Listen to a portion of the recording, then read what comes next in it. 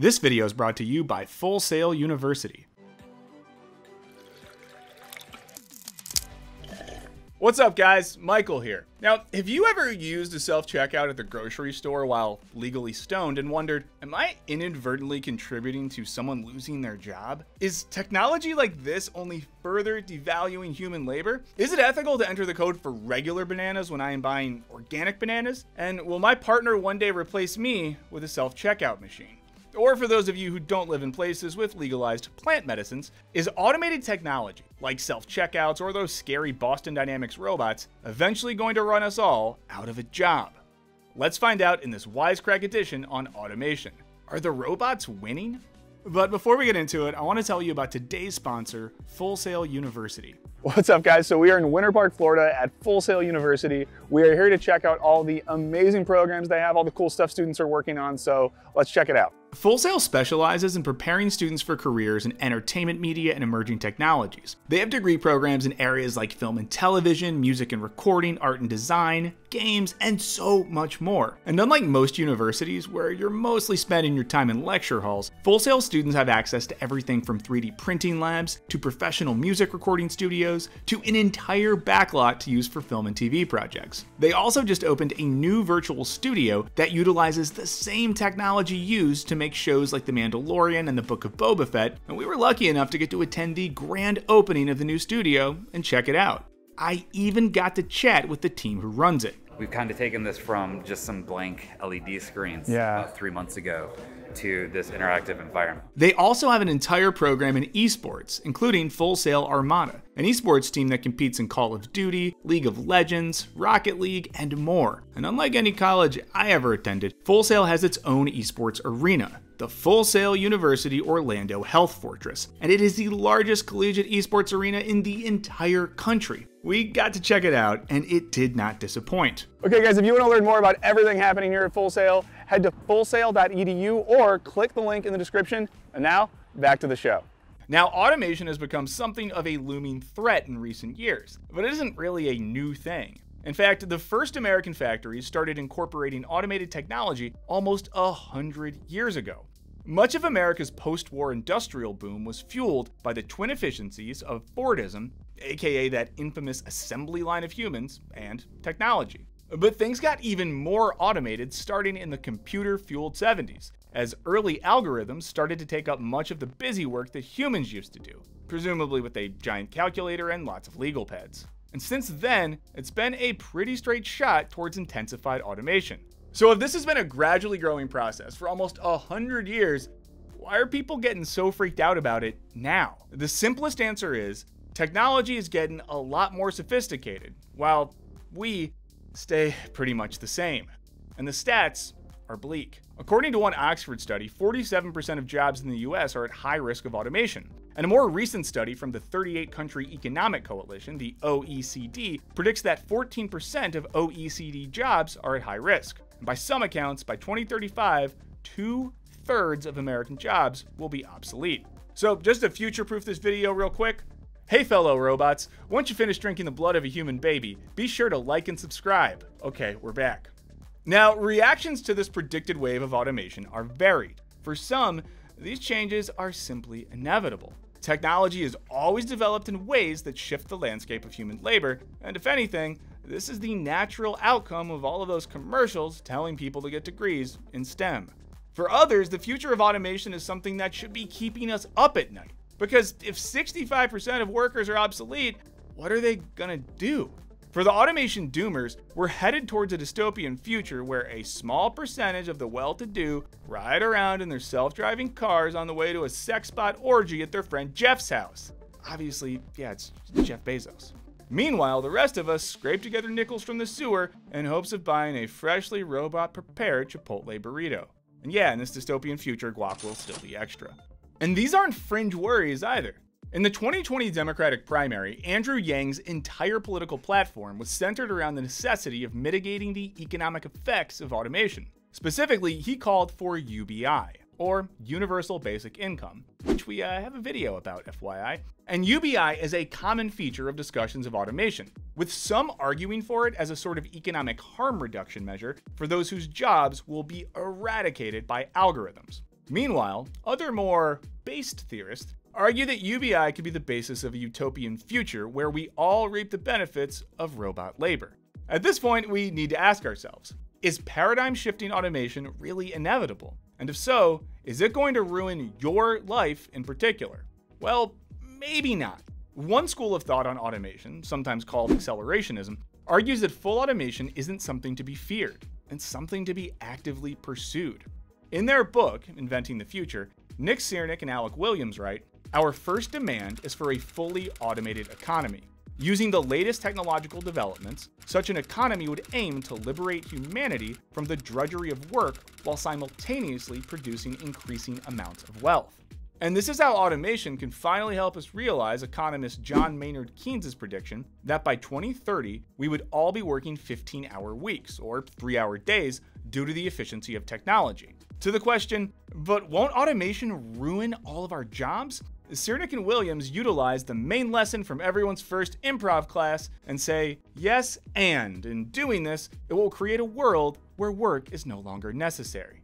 According to their argument, automation doesn't have to be something that lies in the hands of a small crew of tech bros and multinational corporations. Instead, it's something that should be held in the commons so that its benefits can be shared by all. And in making this argument, theorists also call into question the old, deeply American assumption that work is an essential feature of human life, and that without it, we'd all be lazy bastards like in Idiocracy or Futurama. If I wasn't so lazy, I'd punch you in the stomach. For a quick philosophical detour on the value of work, thinkers as far apart as Aristotle and Marx have both argued that work is essential to what it means to be human, and that we can't fully actualize our humanity if we're not engaging in some type of labor. So, this means that, philosophically speaking, it's good to have jobs, right?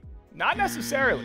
When they say work, they are talking about human consciousness externalizing itself by working on the world outside of itself. So, uh, if you enjoy spending a day in the park working on your drawings of birds, that's work. Staying up late to learn how to play your favorite songs on the flugelhorn? Work. Reading a Wikipedia page about the fall of the Roman Empire so you can argue that it's all happening again? You guessed it, work. So when theorists argue for the end of work, they're really arguing for the end of wage labor, i.e., the necessity of performing labor for someone else so that you can make enough money to not die. Okay, philosophical detour over. While they acknowledge that a world without work might be far away, Srnicek and Williams do think that we can at least begin to taste a bit of that good life today by shifting towards a four day work week. This has also been argued by authors Kyle Lewis and Will Stronge in their recent book, Overtime Why We Need a Shorter Work Week. For Lewis and Stronge, shifting to a four day work week is not only the obvious and ethical move in response to increased automation, but it actually makes financial sense as well. According to a report by the Autonomy think tank, of which Stronge and Lewis are members, after a trial of a four day workweek in Iceland, 86% of the country's workforce are now working shorter hours or gaining the right to shorten their hours. Productivity remained the same or improved across the majority of trial workplaces, and workers' well being dramatically increased across a range of indicators, from perceived stress and burnout to health and work life balance. So, if these thinkers are right, then all we need is a super, no big deal, gradual revolution in which the people reappropriate automated technologies while developing new and better technologies, all with the aim of alleviating labor time so that humans can experience lives of flourishing, all made possible by robots, algorithms, and a hearty dose of UBI. Easy, right? Yeah, not so much. And it's not just that recent years have left us less than hopeful about some type of humanist political revolution. It's also that robots suck at making burgers. As Gavin Mueller writes in Futures of Work, in March 2018, Flippy, a burger flipping robot, was rolled out at the Pasadena location of fast food chain Cali Burger to great fanfare and numerous headlines. The implication was clear. Would this humble machine spell the end of the fast food job, the metonym for low skilled entry level occupations? Not exactly. In an event that provoked far less press coverage, Flippy was retired after one day of work. And whose fault was this? According to Cali Burger, it was the dumb humans, of course. They argued that their workers' clumsy fingers were too slow to dress the burgers, among other tasks, which, as Mueller put it, caused Flippy's media achievements to pile up. Never mind that some journalists had already noticed that Flippy actually wasn't very good at its job. Caliburger was ready to protect Flippy at all costs. If the robots can't make fast food burgers, it seems like we're a long way off from full automation. And this complicates the narrative about us all becoming obsolete. Mueller also discusses the concept of consumer labor, which describes the work we end up doing when we use things like self checkouts. In these scenarios, rather than abolishing work, automation proliferates it. By isolating tasks and redistributing them to others expected to do it for free, digital technologies contribute to overwork. So, a lot of what passes for automation is really just passing the buck to consumers. Think about it. When we use self checkouts, we're just the ones doing the exact same job that a traditional checkout worker would be doing. Except, of course, we do it for free. And things get even more insidious when we consider companies like Samasource, which utilizes cheap labor in developing countries to feed repetitive data into machine learning systems. These low wage workers are thus the ghosts hidden in the automated algorithms that we're meant to believe are on a fast track to making human cognitive labor obsolete. The company's CEO, Leila Janah, even argues that paying these workers super low wages is actually a moral thing to do. If we were to pay people substantially more than that, we would throw everything off. That would have a potentially negative impact on the cost of housing and the cost of food in the communities in which our workers thrive. It seems like many of the automated technologies of the future aren't much more than glorified Theranos machines, offering the illusion of futuristic technology while just obscuring the types of traditional labor, making it all possible. And speaking of things that automation will never replace, I can't imagine any robot ever matching the soulless and spiritually cavernous baritone of Elizabeth Holmes. At the highest level, we didn't have the right leadership in the laboratory. But the skepticism about the automated future gets even more, well, skeptical in the work of Aaron Benanav. In his book, Automation and the Future of Work, Benanav argues that the narrative about the radical job losses sure to be caused by automation is largely overblown, and is the result of journalists and scholars overemphasizing the importance of productivity rates, i.e., the ratio of labor outcome to employment, and underemphasizing output rates, i.e., a measure of the volume of production in terms of value added. The narrative around automation has been that it's driven up productivity at the expense of workers, i.e., because we're now so productive, we don't need workers anymore. But Benanav notes that in the 2010s, there was basically 0% growth in manufacturing productivity. According to this logic, actual productivity rates don't support the narrative about automation radically changing the economy. According to Benanav, no absolute decline in levels of manufacturing production has taken place, but there has been a decline in the output growth rate, with the result that output is growing more slowly than productivity. This basically means that the reason we have fewer jobs isn't because of automation fueled productivity, it's because manufacturing output is declining. And in general, when output is up, jobs are up. And when output declines, so does job creation. Benanav also notes that the countries with the highest rates of automation have some of the highest employment rates in the manufacturing sector, arguing that, in the context of intense global competition, high degrees of robotization have given firms competitive advantages, allowing them to take market share from firms in other countries. Thus, Germany, Japan, and South Korea have some of the highest levels of robotization. They also have the largest trade surpluses in the world. Workers in European and East Asian firms know that automation helps preserve their jobs. At the same time, countries like the United States and the United Kingdom have both lower rates of robotic automation and fewer workers employed in manufacturing. Basically, we might actually be more competitive in manufacturing if we had higher rates of automation. But hey, at least we have baseball, and the Brits have the Queen, who definitely isn't dead. So you win some, you lose some. Now, Benanav isn't arguing that automation isn't increasing, but rather that it's already been increasing for decades, and it hasn't led to the radical shifts in society that some have predicted. For that matter, he says, what automation theorists describe as the result of rising technological dynamism is actually the consequence of worsening economic stagnation. Productivity growth rates appear to rise when in reality, output growth rates are falling.